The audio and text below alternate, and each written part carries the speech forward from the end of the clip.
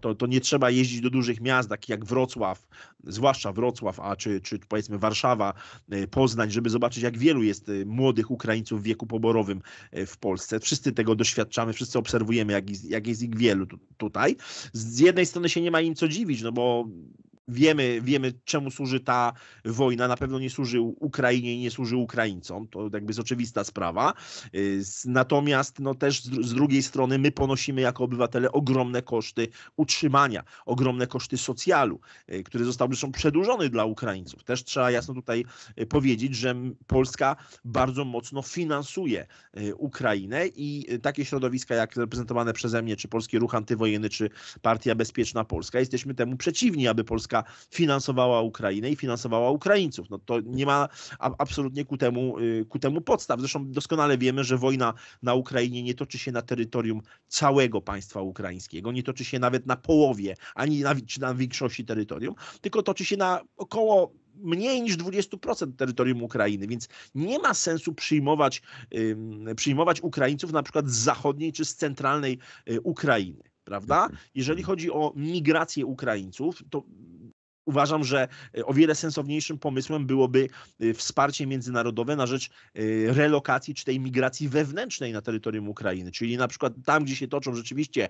walki, jeżeli chodzi o Donbas i tam rodziny, powiedzmy matki z dziećmi, które uciekają, powinny mieć możliwość relokacji wewnątrz terytorium Ukrainy, czy do centralnej Ukrainy, czy do zachodniej, tam, gdzie tych bezpośrednich walk nie ma. Nie ma najmniejszego, najmniejszej potrzeby, aby Polska utrzymywała całe rzesze Ukraińców tak? Zresztą z tymi Ukraińcami, z, tymi, z wieloma tymi obywatelami Ukrainy są problemy. Widzimy, że zresztą niekontrolowana migracja, nie tylko z, z terytorium Ukrainy, prowadzi do różnego rodzaju napięć nazwijmy je kultur, napięciami kulturowymi, cywilizacyjnymi, aktami przemocy. Jest cała ma, masa, mnóstwo filmików w mediach społecznościowych.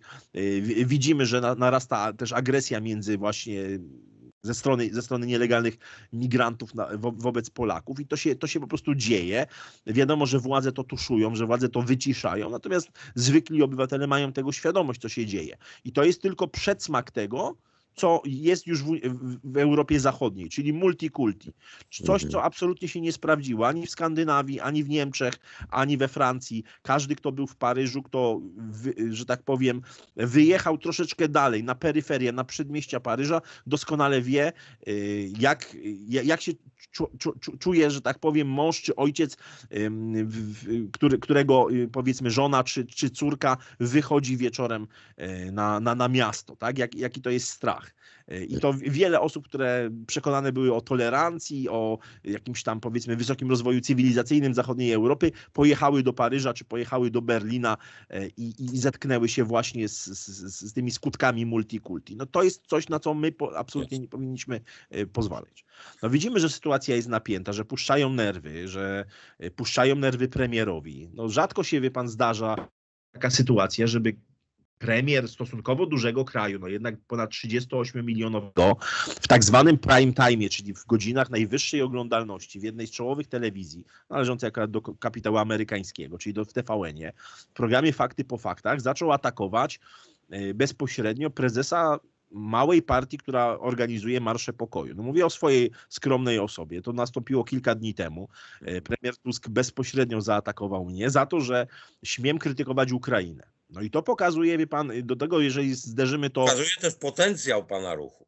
Y, ja myślę, że też skonfrontując to z ostatnim numerem Newsweeka, gdzie jest y, duży, obszerny, wielostronicowy y, wywiad z byłym szefem służby kontrwywiadu wojskowego, panem generałem Piotrem Pytlem, który ma wielki żal i jakieś pretensje i, i jakieś wobec, wobec kampanii to nie nasza wojna i tutaj bezpośrednio swoje, swoje żale w moją stronę mm, adresuje. Jeżeli wszystkie media głównego nurtu zaczynają to podnosić, że istnieje ktoś taki jak Sykulski, który prowadzi jedną oczywiście z takich takich akcji propokojowych, bo jest ich znacznie więcej. No ale akurat powiedzmy ta, ta kampania to nie nasza wojna, udało się jej przebić po prostu tymi billboardami, tymi banerami i marszami pokoju y, w tym zakresie. No to proszę zobaczyć, że to jest, to jest naprawdę marginalna organizacja. To nie jest y, masowy ruch, polski ruch antywojenny. Wie, tak? że, że tu jest potencjał i tak, ale to zaczyna jest... bać. To jest, wie pan, z punktu widzenia socjologicznego to jest bardzo ciekawe, takiego też politologicznego, no bo jeżeli, mówmy sobie szczerze, no bezpieczna Polska to jest partia, która istnieje pół roku. To nie jest partia masowa, także Polski Ruch Antywojenny tak samo. To pokazuje, jak oni się boją. To znaczy, oni się, przy, w mojej ocenie, władza dzisiaj, pod wpływem oczywiście nacisków zewnętrznych, przygotowuje Polskę i Polaków do wojny. Ja co do tego nie mam żadnych wątpliwości. Ja to artykułuję od dawna.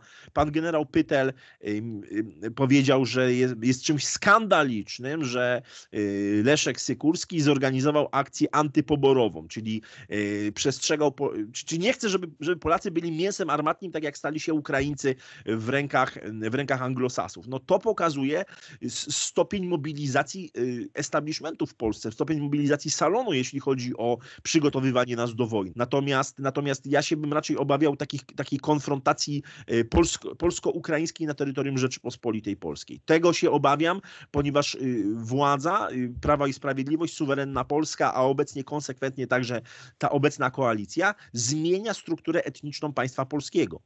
Y, z homogenicznego państwa, które było odziedziczone po PRL-u, co było y, wielkim tak naprawdę y, dobrodziejstwem. Homogeniczność etniczna, homogeniczność religijna, brak jakichś fundamentalizmów, jakichś ekstremizmów religijnych, e, brak tych wszystkich konfliktów, które pamiętamy pamięcią historyczną z drugiej, z drugiej Rzeczpospolitej, to było wielkie, wielkie dobrodziejstwo. Teraz to się zmieniło i to widać. Widać po doniesieniach mediów, prawda, nawet tych, tych lokalnych. Ma potężny problem e, administracja Zełenskiego po 20 maja, no bo do 20 maja bieżącego roku zakończyła się kadencja, pięcioletnia kadencja prezydencka y, i, i właściwie jest wielka luka y, prawna, legislacyjna w konstytucji Ukrainy.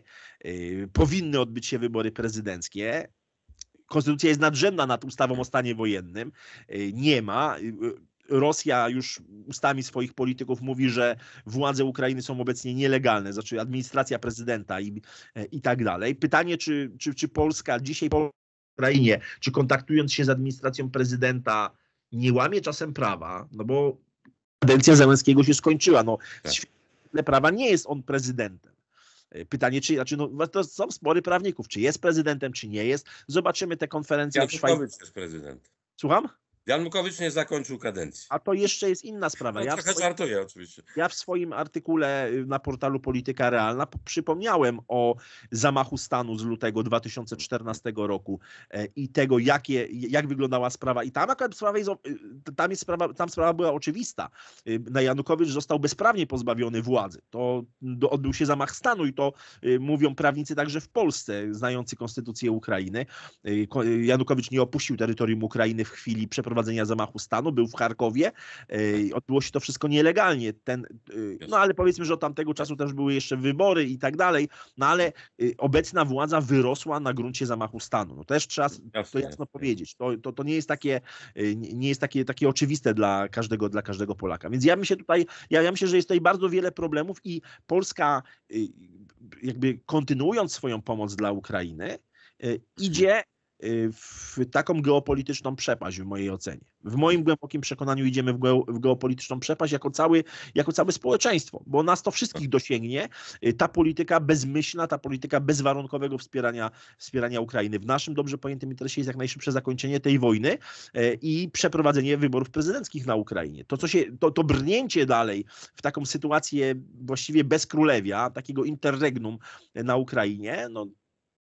To jest, to, jest, to jest perspektywa katastrofalna nie tylko dla samej Ukrainy.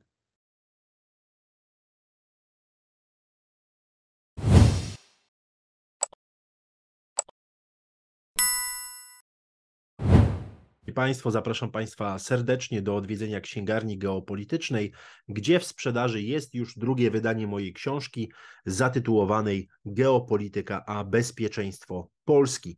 To książka, która w sposób przystępny pokazuje genezę najważniejszych koncepcji geopolitycznych, które kształtowały e, polską myśl geopolityczną, polską politykę zagraniczną e, i rzuca nieco więcej światła na otoczenie międzynarodowe Rzeczypospolitej współcześnie.